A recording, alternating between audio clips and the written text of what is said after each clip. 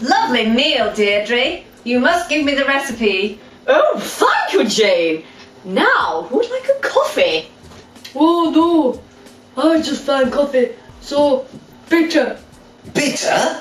Coffee? Don't tell me you've never tried Bonka. This isn't bitter coffee, it's better coffee. And it's Italian.